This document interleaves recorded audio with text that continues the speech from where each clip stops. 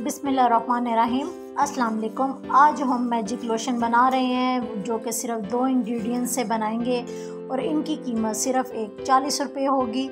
और ये magic lotion आपके घर की हर चीज़ को चांदी की तरह चमकाएगा, यानी ये मैजिक लोशन मल्टीपर्पज़ है, और आपके तमाम घर की चीज़ों को चमका के, और आपको तो हमने लिया है 250 ग्राम सल्फ्यूरिक सॉफ्ट, और इसमें हम डालेंगे two tablespoon tartaric acid आप दानेदार टार्ट्री भी ले सकते हैं तो एक ही बात है। तो आप एक बाउल ले लें, उसमें तीन कप आप पानी के ऐड कर दें। तो ये ज़बरदस्त प्रोडक्ट बनाने से पहले तो अब मेरे चैनल को लाइक शेयर और सब्सक्राइब ज़रूर कर दें। ये आपका प्यार ही होता है, जो कि हमको मज़ीद और अच्छी अच्छी वीडियो बनाने पर हिम्मत देता है।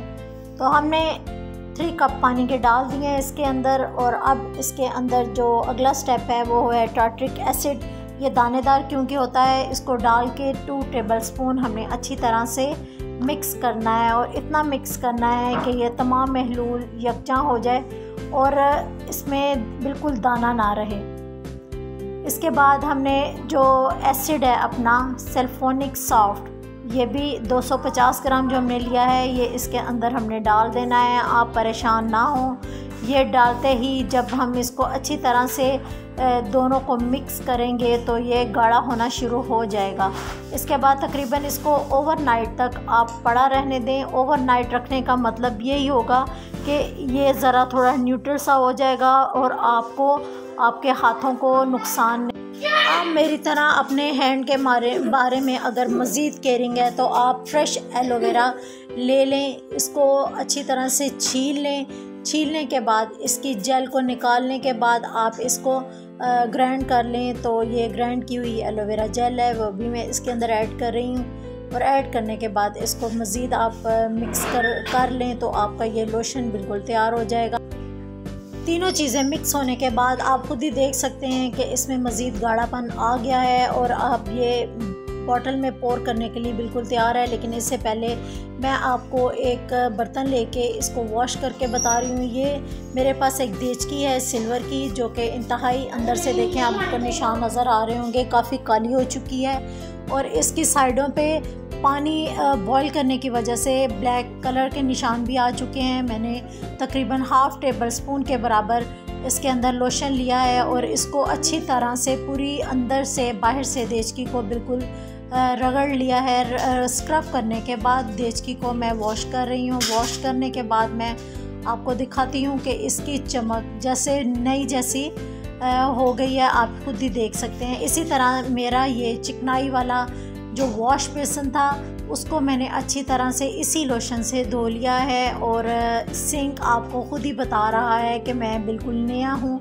तो ये इसी तरीके से आप अपने से वॉश बेसन को बिल्कुल नया जैसा और चांदी जैसा चमकता हुआ बना सकते हैं। इसी तरह ही ये जो नल है, जो कि हर वक्त यूज़ में आता है, इस पर यह दाग, पानी के और जंग के अक्सर जम जाते हैं और ये ज़िद्दी दाग होते हैं जंग के, जो कि आसानी से वॉश नहीं होते। तो उसके लिए हमें ये लोशन बहुत अच्छा और फ़ायदा मंद रहता है। यहाँ पे देखें, जिस तरह दाग हैं तो मैं इनको अच्छी तरह से स्क्रब कर रही हूँ। स्क्रब करने के बाद इसको मैं आप धो के दिखाती हूँ। तो ये देखें, मेरा जो वॉश बेसन का नल है, बिल्कुल नया जैसा नज़र आ रहा होगा और इसकी चमक आपके सामने है। इसी तरह से टाइल्स जो ज़िद्दी होती हैं किचन की ख़ास तौर पे जो वॉश बेसन के बैक वाली टाइल्स हैं, उन पर चिकनाई ग्रीस और गंद बहुत ज़्यादा जमना शुरू हो जाता है और हमें तकरीबन रोज़ रोज़ साफ़ भी करें तो ये टाइल साफ़ नहीं होती, बल्कि ये ज़िद्दी चिकनाई मज़ीद और तेज़ी से जमती जाती है ऊपर। तो मैं इनकी जो दर्ज हैं, इनके बारीक, इनके ऊपर भी मैंने अच्छी तरह से ये लोशन की सफ़ाई की है। तो आपको ये टाइल्स और इसकी चमक अच्छी तरह से वाइटनिंग पे नज़र आ रही है। क्योंकि ये लोशन मल्टीपर्पज़ है तो ये कवर मेरे पास पड़ा है, जिस पे जंग का दाग है और ये काफ़ी ज़िद्दी दाग होते हैं और आसानी से साफ़ नहीं होते। तो ये लोशन आप ले के इन दागों पर तकरीबन तीन से चार मिनट के लिए इसको ऐसे ही पड़ा रहने दें और उसके बाद फिर इसको हम कैसे वॉश करेंगे, ये मैं आपको बता रही हूँ। इसके बाद इस कपड़े को हल्का सा रब करना शुरू करें।